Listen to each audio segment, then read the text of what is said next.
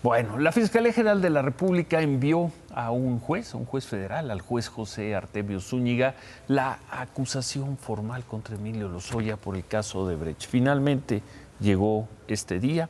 Fuentes del Poder Judicial confirmaron a Imagen Noticias que la acusación fue enviada el lunes, el lunes 3. La Fiscalía, ¿qué es lo que pide la Fiscalía? 39 años de cárcel para Emilio Lozoya por cohecho asociación delictuosa y lavado de dinero.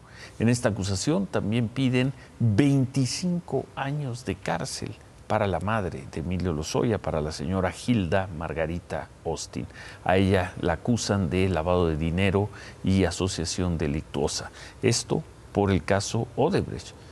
Emilio Lozoya tiene pendiente aún la acusación formal por la compra-venta de la planta de fertilizantes agronitrogenados.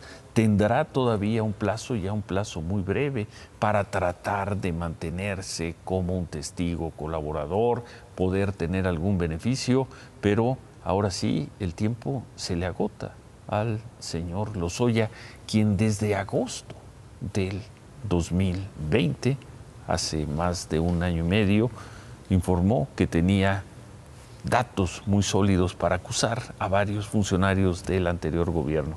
Estamos ya en enero, ya se vio qué es lo que está pidiendo ya la Fiscalía General de la República de castigo para el señor Lozoya y la información o la supuesta información que tenía no aparece.